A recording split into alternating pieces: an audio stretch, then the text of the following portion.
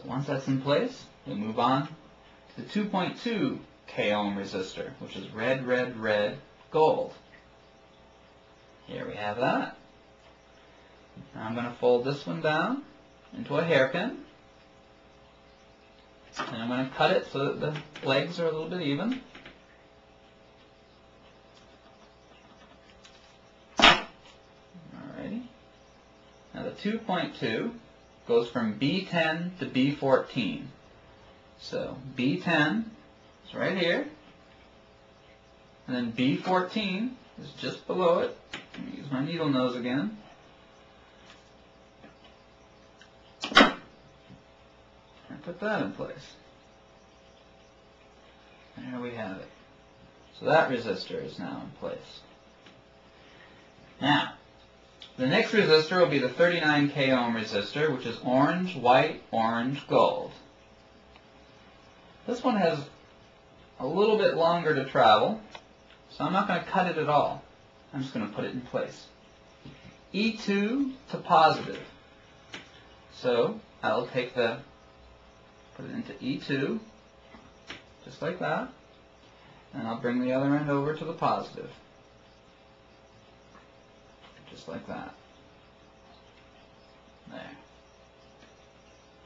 Now, I can always go back and shorten this. Once I've figured out my length, and I'm happy with that, I can simply pull it back out, cut some off, and put it back in, and it ought to fit just fine. So like I said, E2 to positive.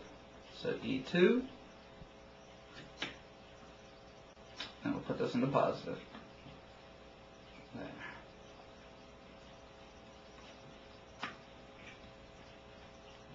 Now we have that resistor into place. Now, the last one left is the 4.7, which is yellow, violet, red, gold. And that one is going to go from G9 to J10. That's a very short distance, so I'm going to cut this one. Cut this one off. So this is about a half inch. That goes from G9 to J10. So G9 right there, and then J10 right next to it. So we're going to put that into place right there.